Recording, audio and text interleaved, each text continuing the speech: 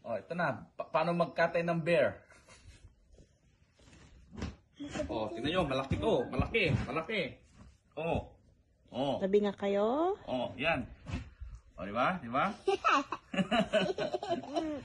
six feet. Parang six feet siya. Six feet ang haba niya. Turuan ko kayo kung paano magkatay, ha?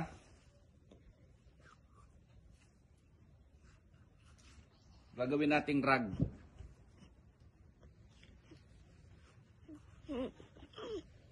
Lalaki tong bear, lalaki oh, may titi.